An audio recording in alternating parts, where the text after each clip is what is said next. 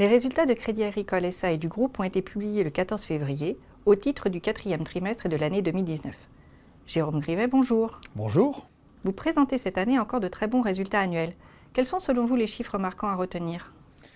Alors il y a beaucoup de chiffres évidemment avec ces résultats trimestriels et annuels. Je voudrais en retenir deux et plutôt les résultats sous-jacents que les résultats euh, publiés parce que les résultats publiés euh, ont été impactés par euh, cette année des éléments exceptionnels significatifs avec notamment le, gain du contentieux en Poriki et la dépréciation partielle du goodwill LCL.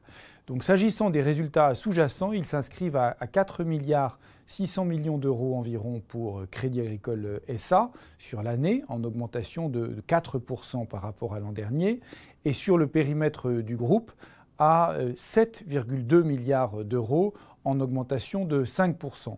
Sur le trimestre, les progressions sont beaucoup plus rapides, 23,5% pour le quatrième trimestre pour Crédit Agricole SA et 22% pour le groupe.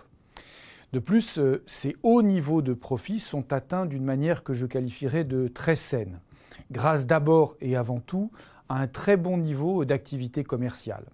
Ceci génère évidemment des revenus dynamiques qui progressent plus vite que les charges, ce qui nous permet d'améliorer euh, à nouveau le coefficient d'exploitation qui sur euh, Crédit Agricole SA s'établit pour l'année à 61%, en amélioration de plus d'un point de pourcentage par rapport à l'an dernier. Euh, cette amélioration euh, de notre résultat brut d'exploitation permet, euh, et au-delà, de couvrir ce que je qualifierais de normalisation du coût du risque. Celui-ci reste à un niveau bas, à 32 points de base, mais néanmoins, il se redresse un peu par rapport au niveau anormalement bas que nous avions connu en 2018, avec notamment des reprises de provisions sur le périmètre de la Banque de financement et d'investissement. Enfin, dernier point, euh, notre solvabilité continue encore de se renforcer, avec un ratio CET1 qui s'établit maintenant à 15,9% pour le groupe et à 12,1% pour Crédit Agricole SA. Ce très haut niveau, euh, très au-dessus de notre cible de 11%, nous permet euh, de commencer dès le début de cette année à démanteler le mécanisme switch comme nous nous étions engagés dans le cadre du PMT. Avec le lancement du nouveau PMT en juin dernier, les premiers effets sont-ils visibles? Alors les premiers effets sont tout à fait visibles, de nombreuses actions ont été lancées et je voudrais citer euh, simplement euh, quatre exemples.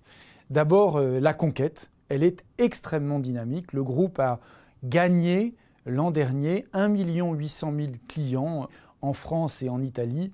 Et son fonds de commerce en banque de détail en France et en Italie s'est accru de 370 000 clients net. Deuxièmement, les synergies de revenus sur lesquelles repose une partie euh, importante de la croissance que nous projetons, elles ont progressé et elles s'établissent à 9 milliards d'euros euh, en 2019. Troisième élément, euh, les partenariats. Vous savez que nous participons à, la consolidation d'une façon qui nous est propre et à laquelle nous croyons, qui est celle du développement de partenariats dans nos principaux métiers spécialisés.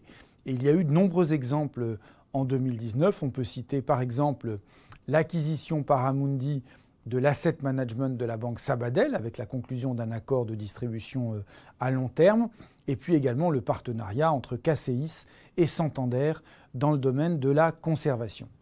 Dernier exemple, la finance verte. Nous avons accéléré dans ce domaine. Nous avons, euh, à l'automne dernier, euh, lancé un green bond pour un milliard d'euros un green covered bond pour 1 milliard 250 millions et donc euh, là encore euh, nous accélérons. Et concernant le dividende?